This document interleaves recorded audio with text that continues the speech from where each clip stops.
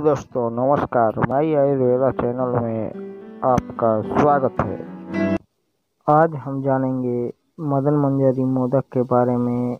इसमें जो इंग्रेडिएंट्स हैं वह इस प्रकार हैं। इसमें व्यस्तगंधा बिदारी कंद शुद्ध कौच के बीज, सफ़ेद मूसली,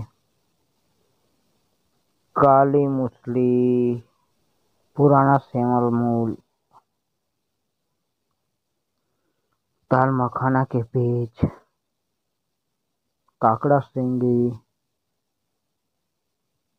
घी में भुना हुआ छिलका रहित उड़द, घी में भुना हुआ गहम चूर्ण अकर करा मूल, सौंठ काली मिर्च, इलायची, लौंग दालचीनी कबाब चीनी जावित्री जायफल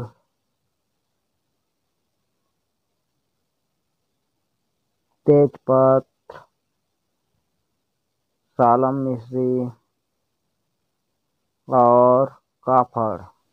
इन सभी बाईस औषधियों को समान मात्रा में पंसारी से ले आएँ और इसका चूर्ण बना लें। इसके पश्चात सभी बाईस औषधियों, यहाँ जितना हो जाए, उसके अर्ध भाग यानी आधा शुद्ध भाग और बाईस औषधियों की मात्रा और शुद्ध भाँग की मात्रा जितना हो जाए इस सब के बराबर मात्रा में आपको सीता मिश्री लेना है और इसमें, उसमें से धागा अलग करके के दो तार की चाशनी बना करके सर्वप्रथम भाँग के चूर्ण को चाशनी में मिलाकर और अन्य बाईस औषधियों को मिलाकर अच्छे से एक दिल करना है और उसके बाद उसमें उपयुक्त मात्रा में घी तथा मधु रस मिला करके इसका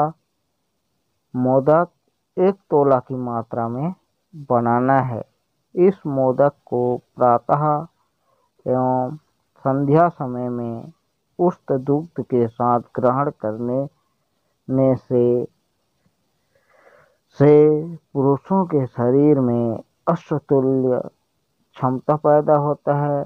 बहु स्त्री संसर्ग करने की क्षमता पैदा होता है, धातु दोष दूर होता है पेय का पतलापन दूर होता है, प्रतिशक्तिहीनता दूर होता है, अत्यंत शीघ्र वीर्य का स्खलित होना दूर होके लिंग में निस्तेजना, वक्रता दोष आदि दूर होता है और स्त्रियाँ इस मोदक को ग्रहण करते हैं। उष्ट दूध के साथ तो शरीर हृष्ट पुष्ट होकर सभी प्रकार के रोगों से मुक्ति मिलता है। पतित स्तन सुडौल एवं कठोर हो जाता है, जरायु की शुद्धि हो जाता है और बंध्य दोष दूर होता है। दोस्तों, यह औषधि भी मदनानंद मोदक, कामेश्वर मोदक जैसे बाजिकारक औषधि है। अगर दोस्तों आपको यह वीडियो अच्छा लगा तो चैनल को सब्सक्राइब कर देना और वीडियो को लाइक कर देना। धन्यवाद।